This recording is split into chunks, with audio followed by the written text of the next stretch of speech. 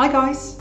This video is about stress fractures in runners specifically and the risk factors for getting those. I was going to include um, treatment for it, but then I realized that, you know what, the treatment for each specific stress fracture can be quite different. So I'll rather make videos in the future about how to treat various stress fractures in various parts of the body.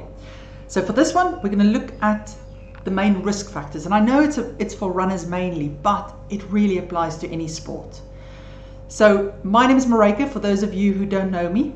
I'm the physiotherapist at sportsinjuryphysio.com where you can get online physiotherapy assessment as well as treatment for your injuries. Have a look at the description of this video if you want um, a link to my website. Good, so risk factors. We've got two, four, six, seven of them actually.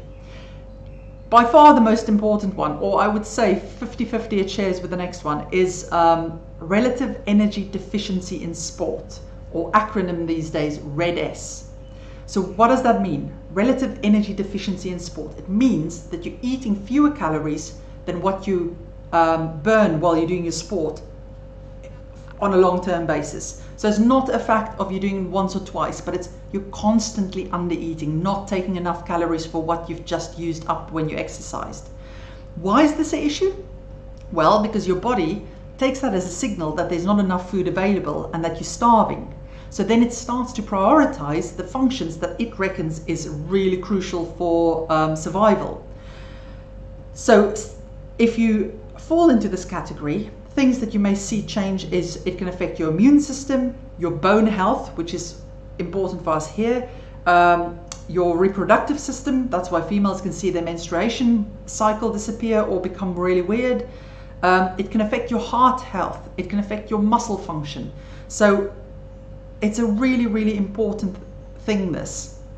Um, an example of a sport where you can often see this happen and they don't really observe any problems from it initially because there's no impact is cyclist. So your um, high level recreational cyclists as well as professional cyclists, um, these days it's quite well reported that they are prone to osteoporosis and poor bone health. And that's because when you cycle, the lighter you are, the faster you can cycle in theory. And they chronically undereat. They try to get the body weight really, really, really down but you pay for it through your other systems. So it's not recommended to do on a long-term basis. Same thing for guys who are um, who, who are very long distance athletes. The lighter they are, technically the faster they can run. So they tend to fall in that category as well. Um, endurance athletes like Ironman athletes, they can easily fall into that category as well. So if you do a high volume of training you have to make sure that you look at your nutrition and you replenish everything that you burn through your exercise. Um, and interestingly enough, because when I was reading up about this, what happens if you undereat? So, say for instance, you're trying to you're training for weight loss, so you you decided to heavily restrict your diet while increasing your your exercise to lose weight. That doesn't actually work because again, what the body does is it goes, ooh, we're going to starve. We're not getting enough food because we're not replenishing everything we're using.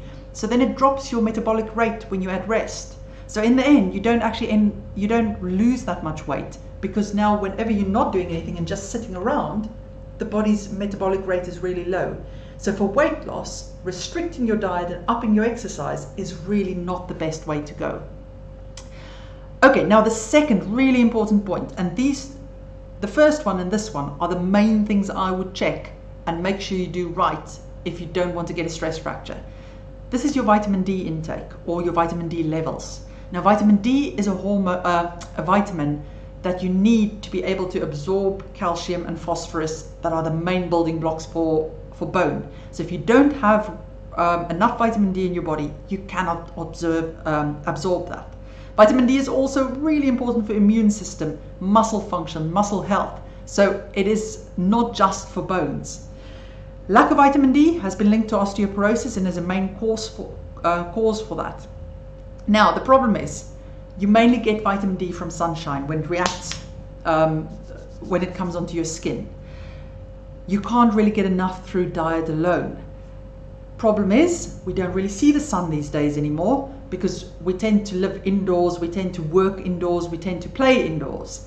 Also, most countries that um, are further away from the equator don't get strong enough sunshine, especially during the winter times, to give you enough UV rays to give you enough vitamin D. So like for instance, the UK in the winter doesn't see enough strong enough sunshine. So even if it, the sun does shine, it's not producing enough vitamin D for you.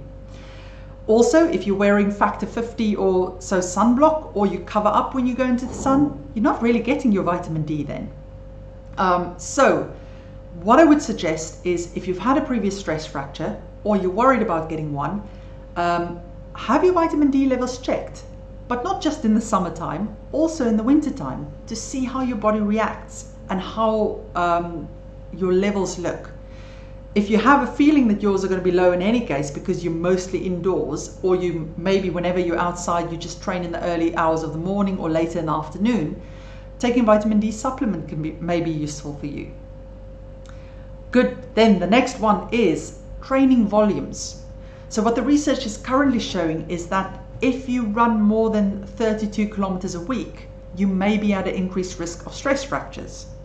Now, think about it. There are loads of people who don't get stress fractures who train a lot more than 32 kilometers a week. So, what this means to me is that the higher training volumes you have, the more you have to look after your body and give it the right nutrition so don't undereat, give it enough recovery time, give it enough rest. All of those things become more and more important. So just doing the high volume of training in itself isn't bad for you. It just means you've got to really look after your body through doing all the other things right. Um, so the next one I was quite surprised at, biomechanics, because you often see people say that, oh, if you've got tight hip this or anterior tilt that, you may you're at higher risk of stress fractures. Actually, the research is not showing that yet. There's very little research available on this topic, and the studies that that are available used very small sample sizes, like five athletes. So you can't really definitively say from that research. This is not to say that biomechanics can't have an influence, but at the moment, there's nothing with strong evidence behind it. So I would suggest look at the your nutrition, vitamin D, and training, um, how you manage your training recovery and things before you worry about biomechanics. Contraceptive pill, there was some suggestions that maybe being on the contraceptive pill could affect hormone levels in females and therefore may predispose them to stress fractures. Research is showing no, that's not the case. What they do caution is against is that you can't, if you're on the contraceptive pill, you can't see from your menstruation cycle whether you are at risk of um, RED-S syndrome because being on the pill keeps your menstruation cycle regular. Now, if you've got RED-S syndrome where you undereat constantly, your menstruation cycle may stop, but the pill will keep it constant. So just be aware of that, that you can't look at menstruation as a sign of undereating or um, bone health if you're using the pill. Um, genetics is a risk factor for stress fractures because your genetics can predispose you to poor bone health um, and osteoporosis. So, what I would suggest is if you have anybody in the family, your close family, who suffers from osteoporosis or who's had stress fractures in the past, it may be worth having your bone density checked um, to identify any issues early on that you can make changes in your diet and vitamin D levels and stuff to see if it can change. Females are also more uh, predisposed to stress fractures than males, but there's nothing you can do about that really. Then, lastly, the one that for most injuries always comes out top as a risk factor is the fact that if you've had a stress fracture previously in your life, you're more likely to get one again later on.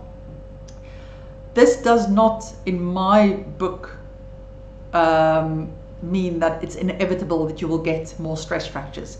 I think the reason for that, the main reason for that, is either you, you've got a genetic predisposition, or more likely, you've not actually addressed the reason why you got the first one in the first place. So, like with all injuries, it's so important that if you get if you get a stress fracture, you have to understand why you got it. So they have to test your vitamin D levels. you have to look at your bone density because if you look at your bone density in your body um, and you have bone density issues in other places than just where the stress fracture is, that's a sign that the whole body system is suffering for some reason. So then you also want to look at um, your nutrition. What's going on? Why is your bone density not as it should be?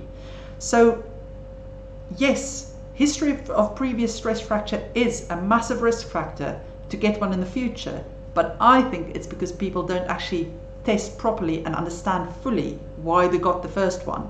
And then they continue to make the same training mistakes and things into the future. Excellent. Let me know if you've got any questions. And if you need more help with an injury, you're always welcome to consult me via video call. Link is in the description of this video. Take care.